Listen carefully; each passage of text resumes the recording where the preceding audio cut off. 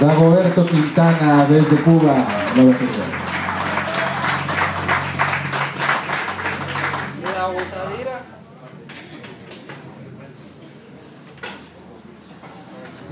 Ahora les pido por favor un fuerte aplauso para nuestra invitada especial de esta noche.